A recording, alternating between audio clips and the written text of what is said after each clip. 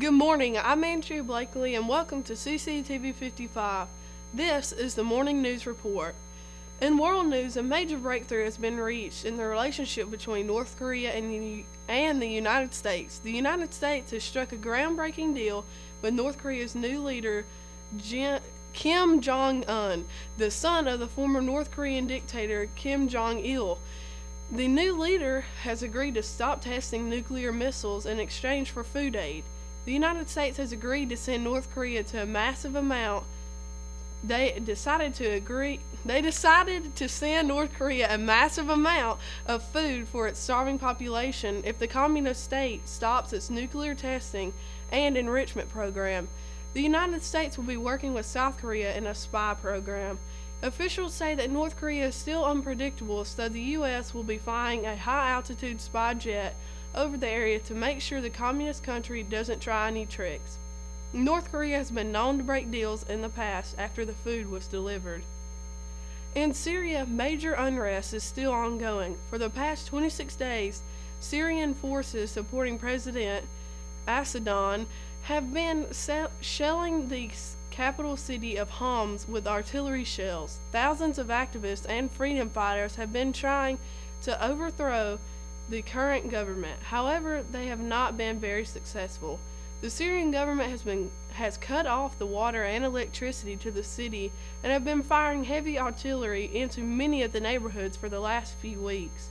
The head Syrian officials say that they plan to launch and launch an offensive that will send ground troops into the neighborhoods and crush the uprising. U.S. President Barack Obama has urged the Syrian leader to back down on his violent approach to the protests. However, an unnamed Syrian government official told the Associated Press the areas would be cleansed without, within hours of their offensive.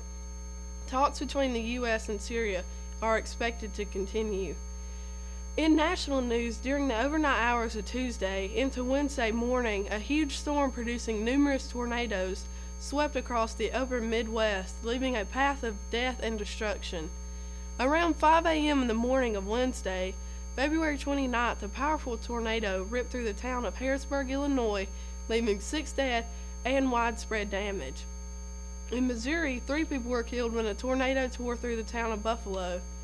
Other others were injured as more tornadoes blew through other Missouri cities like Branson and Harveyville. That night, there were 16 confirmed tornadoes and 9 people were left dead. The tornado, which went through the town of Harrisburg, was rated as an F4 tornado. The National Weather Service is still assessing the damage from the other tornadoes. It is not uh, it is not normal to see tornadoes during this time of the year so far north. Forecasters are saying that this year could be another above average tornado year. In local news, according to the Cullman Times, any talk that the five way race to win the Republican Party's nomination for Cullman County probate judge has been a contentious one, might as well be hearsay, following a candidate forum Tuesday that was heavy on praise for past and current Democratic leaders in the office. Candidates rarely strayed from the issues except when invoking the name of longtime Democratic probate judge Tom Burleson as a peerless example of public service or when generally agreeing on the overall effectiveness of the current Democratic incumbent Leah Patterson Lust. Also, with numerous industrial and retail projects announced over the past year and more in the pike, the city of Cullman has been named one of the top sites for economic growth in the state and the nation. Cullman is number three on Site Selection's top U.S. micropoliticians for new and expanded facilities in 2011, behind only Statesville, Mooresville, North Carolina, and Wooster, Ohio.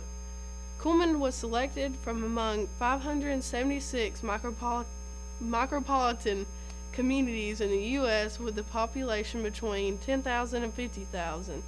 Our staff is widely excited about being number three in our goal next year is to be number one, number one, which has never happened for an Alabama micropolitan, said Cullman Economic Development Agency Director Peggy Smith at a surprise announcement held at Terri Pine Country Club Wednesday night. The naming of this title is great for area publicity. Now to Gus Slayton with the weather.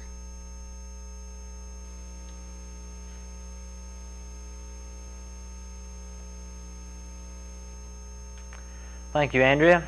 Well, in our CCTV 55 weather today, we do have a lot to talk about, so let's get started. If we take first of all look at our current conditions outside right now.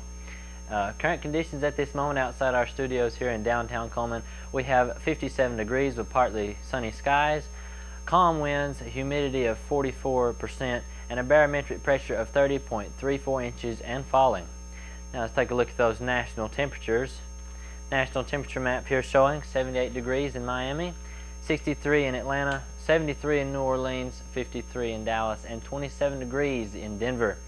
Now taking a look at our, excuse me, look at our national map, national surface map here showing this is a large storm right here that has developed. This is a low pressure over the upper Midwest of the country right now, bringing a cold front and a warm front. Now th this will be of interest over the next few days as this moves through, but I'll get to that in a moment. Let's take a look at our radar right now.